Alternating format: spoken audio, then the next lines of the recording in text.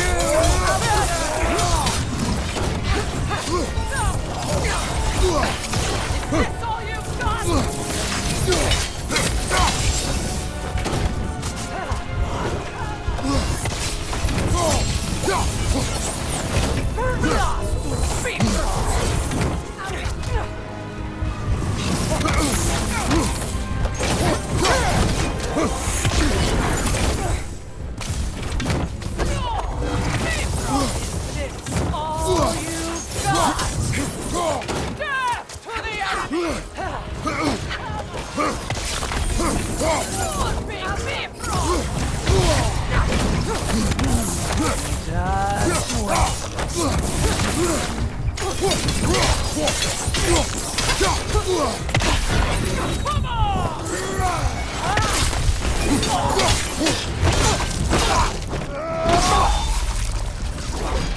was the last, was it not? Only the king remains. Aye, and if you thought his berserkers were tough, well, I've been thinking about what you said, brother. Maybe it's time to let this go. Slurping up a dead man's soul with this old sword isn't gonna change the past.